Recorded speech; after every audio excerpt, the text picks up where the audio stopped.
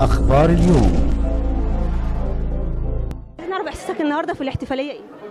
النهارده كنت بكرم لأن أنا الحقيقة يعني يعني بشارك تماما في كل ما يخص المعاق في مصر كلها ما بتأخرش عنهم في أي حاجة.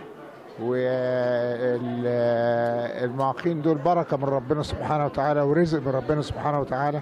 لازم نحسسهم إن هم جزء مننا وإن هم جزء من كل وإن هم يندمجوا في المجتمع ونعمل حسابهم في الوظائف ونعمل حسابهم في المدارس ونعيشهم معانا.